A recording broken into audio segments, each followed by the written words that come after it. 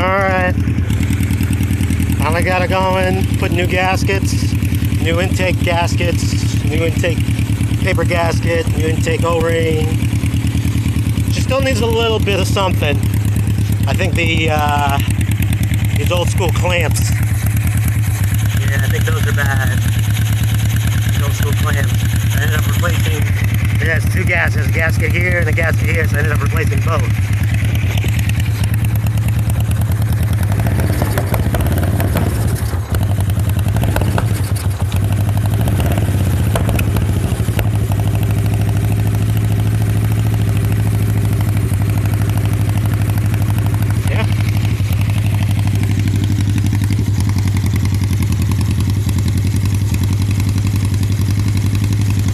Clean her out a little bit.